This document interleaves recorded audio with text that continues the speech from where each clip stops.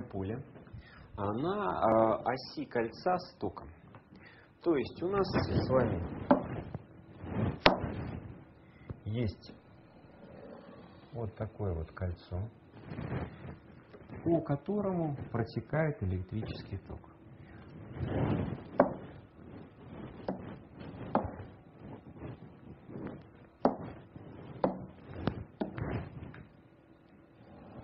Вот это у нас ось кольца. Вот в этой точке нам с вами нужно будет определить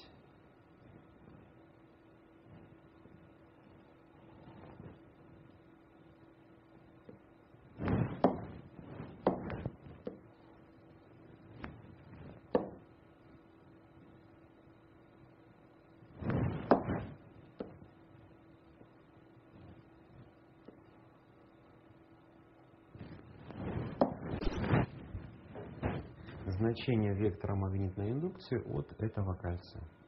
Ну, давайте берем условия, но немножко нам мешает. Значит, выделим на этом кольце некий участок. От него мы и будем находить вектор dB по теореме Биоса-Варова-Пласа. Допустим, а, электрический ток по кольцу у нас идет вот в эту сторону.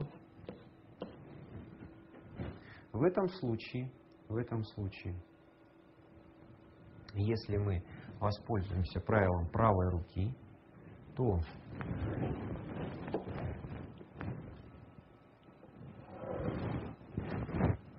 вот на этом расстоянии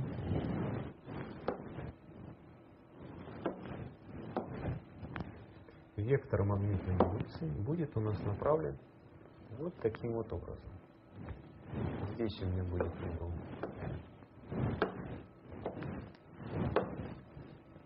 90 градусов.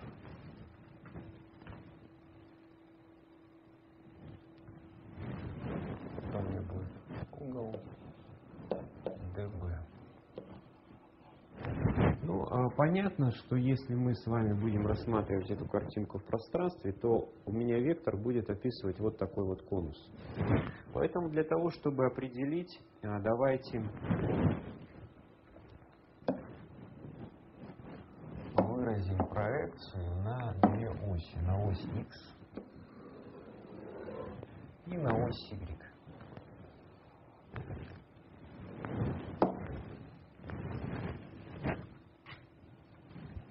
Так, давайте мы чуть-чуть спустим вниз.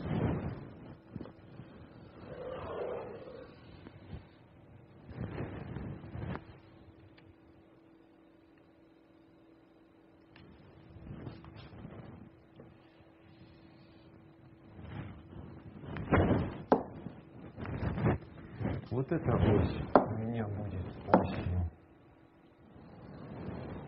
y, вот эта ось у меня будет осью x. Давайте обозначим вот этот вот угол.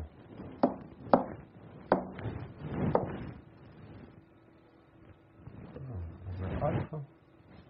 Вот этот угол будет у меня 90 минус альфа. И вот этот 90 это 90 минус альфа. Давайте, наверное, не так сделаем. Давайте мы вот этот угол обозначим за альфа. Это будет удобнее, да? А вот этот угол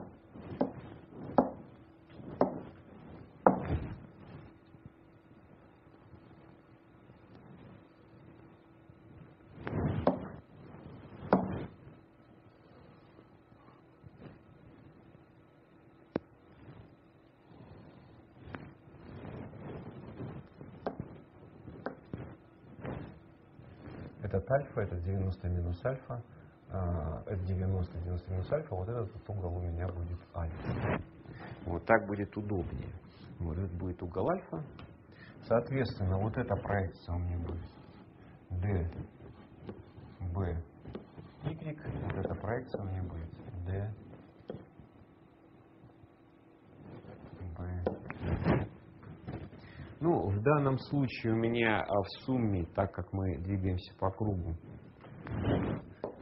интеграл от d bx равен нулю, а вот от y а, все магнитное поле будет направлено по оси y. Ну, давайте его найдем. По теореме Белосовара Лапласа db равняется μ нулевое и dl на синус альфа.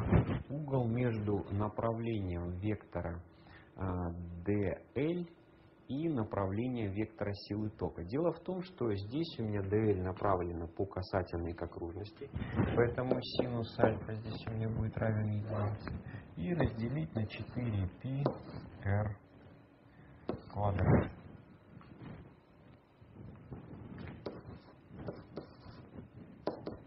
Ну, в этом случае у меня получается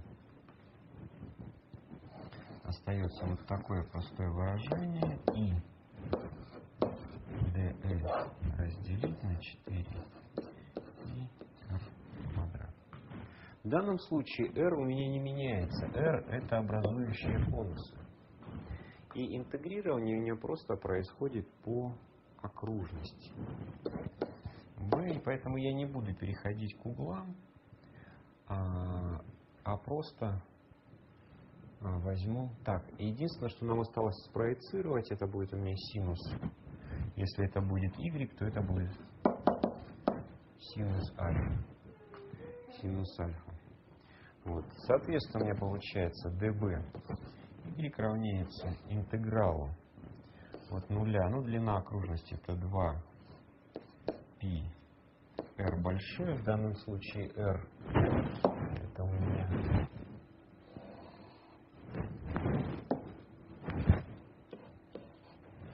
вот это расстояние от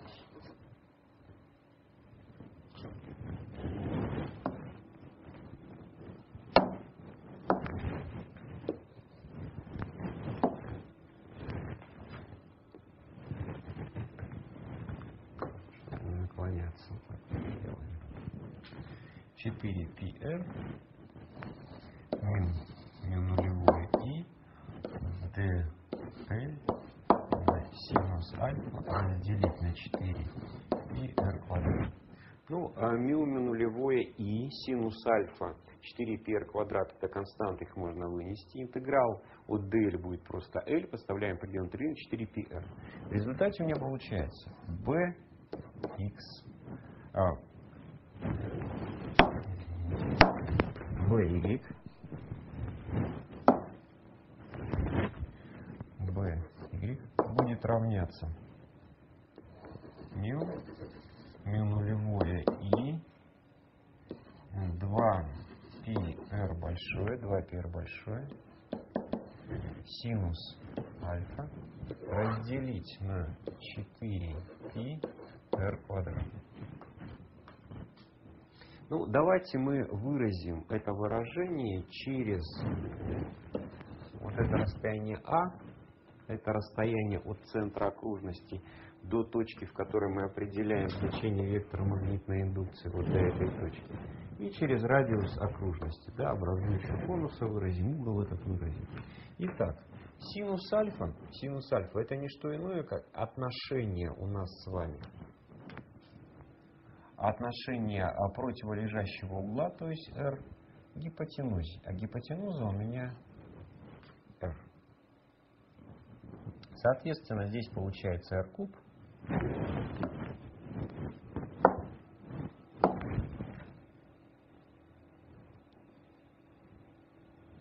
А вот этот синус вот мы уже выразили. Дальше R на. R в квадрате. Ну и R в кубе, которая находится у меня внизу, можно выразить через теорему Пифагора. Соответственно, ну я особо здесь не разжевываю. Не нулевое и деленное на 2 r квадрат.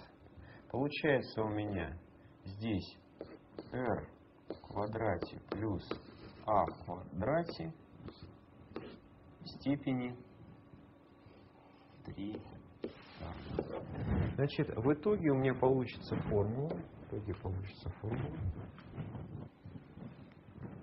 Для определения величины магнитного поля, ну так как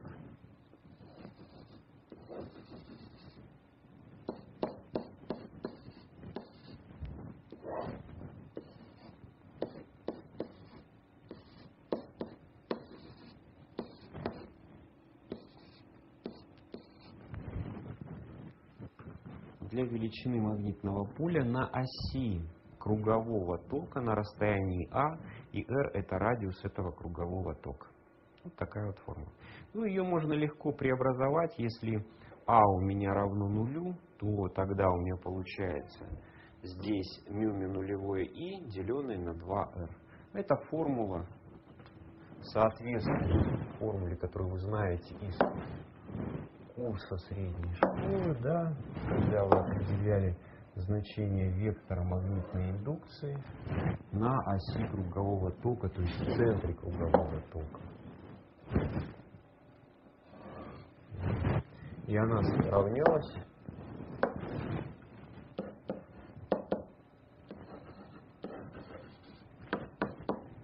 деленной на 2 Ну, как вы видите, вот эта формула легко преобразуется.